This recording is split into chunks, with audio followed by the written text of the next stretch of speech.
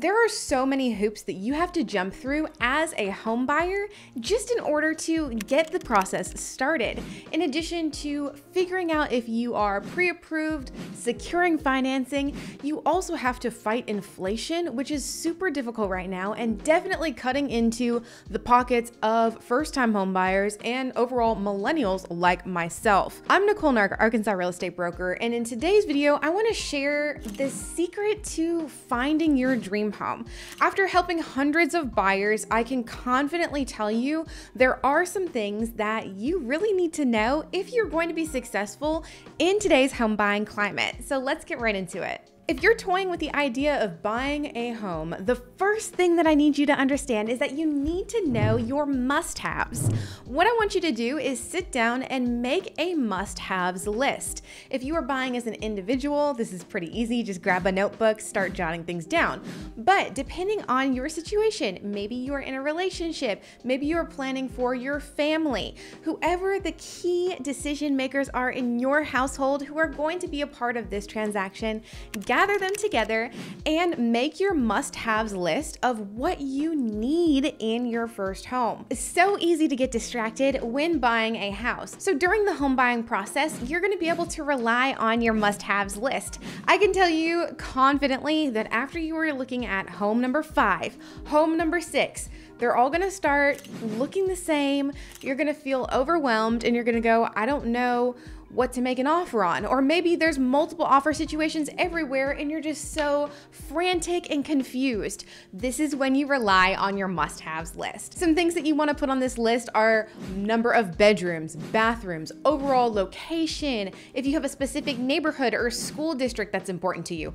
All of this should be on your must haves list. This is like the backbone of your home purchase and will make the process go a lot smoother because I can promise you Overall, it's going to be an easy process, but there are going to be overwhelming moments when you are going to be thankful that you have this list to fall back on. The second secret to finding your dream home might seem pretty common, pretty self explanatory, but it's setting a realistic budget. Now, let me dive into this with you. Of course, you've heard me talk about how important it is to know how much you can get approved for when it comes to your financing. But let me tell you something lenders are great, but they are going to give you your maximum that you are pre approved for. That doesn't necessarily mean that this is going going to be a comfortable payment for you and your finances. Now, the reason that this comes about is because lenders are going to be taking into consideration your pre tax income when telling you how much you can afford. Well, obviously, taxes have just come around. Taxes are going to take a chunk out of your income. So there's that to factor in.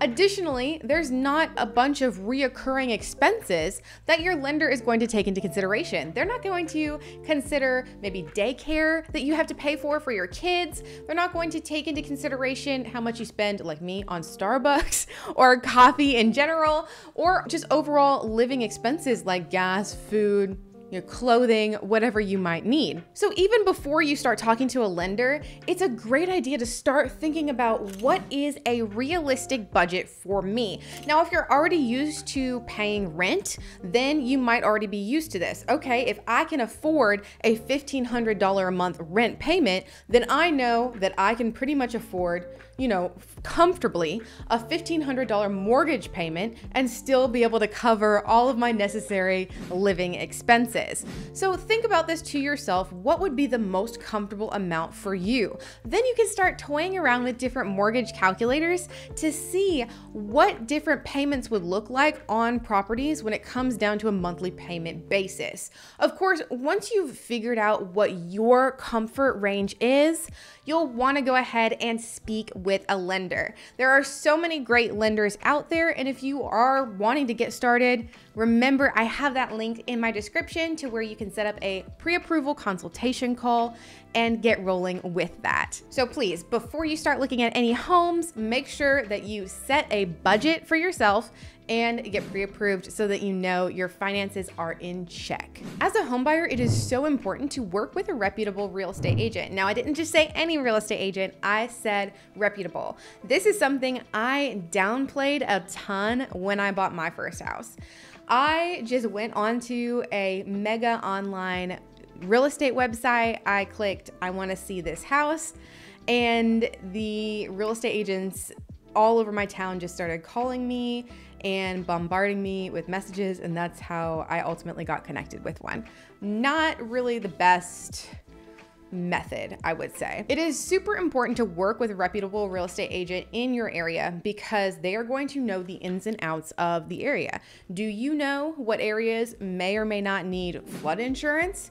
Do you know history on certain neighborhoods? Probably not, especially if you happen to be semi new to an area. So, working with a real estate agent who is well versed on your loan type, who knows your area, is 10 out of 10. Now, in order to know that you are working with a great agent, there's a few things that you can do. You can obviously ask for a referral from a friend or family member. They may have, you know, worked with a great agent that they would love to get you connected with.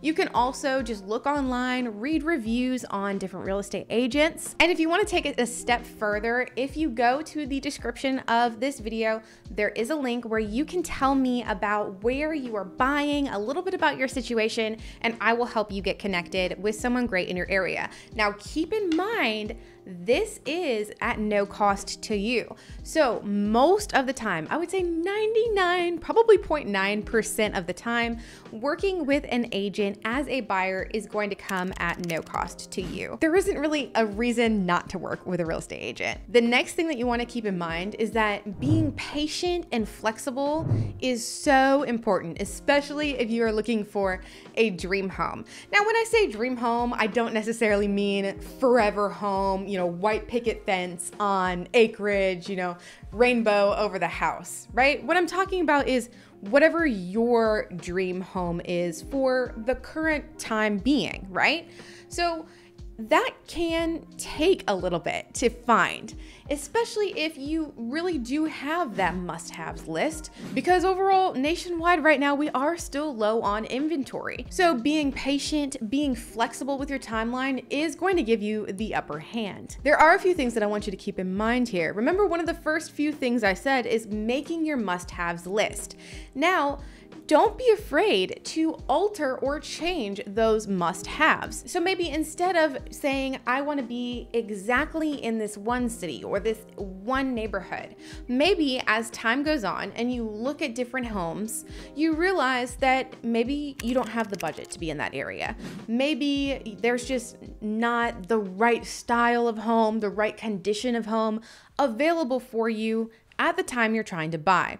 Just know that over time, that must haves list may change. In order to find your dream home, be open to the idea, be flexible, and know that maybe the area changes. You might need to look at different areas of homes, different styles of homes to know what you really like. I can't tell you how many times I have shown homes to buyers and they have said, Nicole, I've looked at the pictures. I really don't like it. I don't want to see it. And me, I'll just be like, look, guys, listen. I, I've, I've been hearing your criteria. I've been walking through these homes with you, and I really think that you would like this. Let's just go check it out. If you hate it, tell me and we'll move on. I cannot tell you how many times that they have actually bought that house.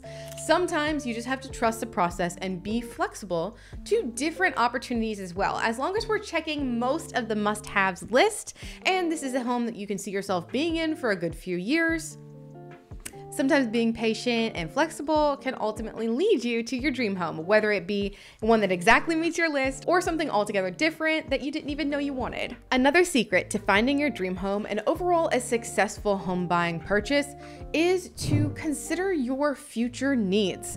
This is so important because ultimately, I'm gonna go ahead and say that you're probably gonna be buying a house and living in it for let's say at least three years. So let's take me for example. You know, I don't have any kids, so I may not need to take into consideration school district. But if I live in this house for multiple years to come, that might be something that's going to be important to me in the future. So you need to think about things like that. Will this home fit my needs? You know, am I older? Do I think I can handle stairs for a long time?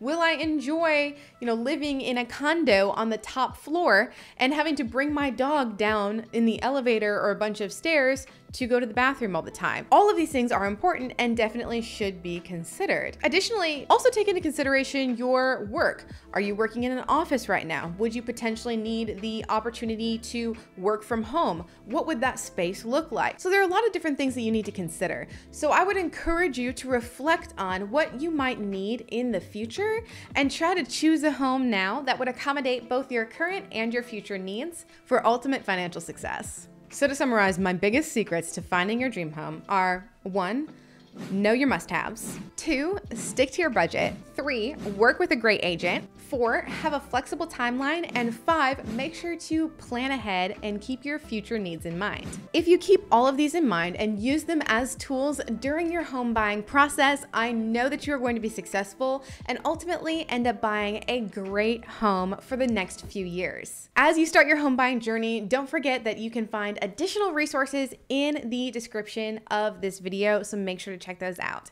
If you have any other questions, comment them below. And if you found this video helpful, make sure to smash that like button. I'm Nicole Nark, Arkansas real estate broker with videos to help you find your way home, and I will see you in the next one.